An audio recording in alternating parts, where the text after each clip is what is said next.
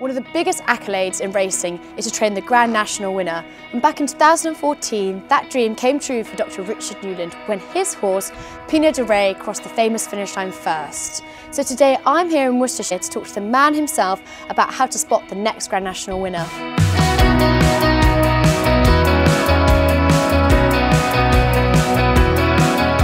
Richard, thanks so much for joining me today. Now tell me, what was it like when Pineau de Re crossed the famous finish line?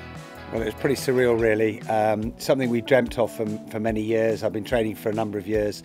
My first ever runner in the Grand National. It's the dream race. It's the race that every jump trainer wants to win. So when we, when we jumped the last, finished in, running into the, to the finishing post uh, in the lead, it's just an incredible feeling. So did you have a particular training regime for Pineau to get him ready for the Grand National at all?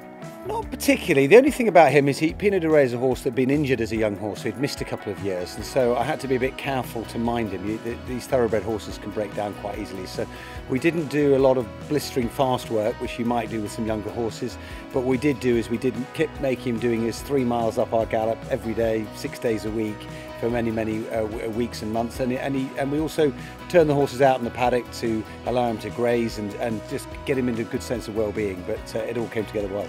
And how do you spot a Grand National winner?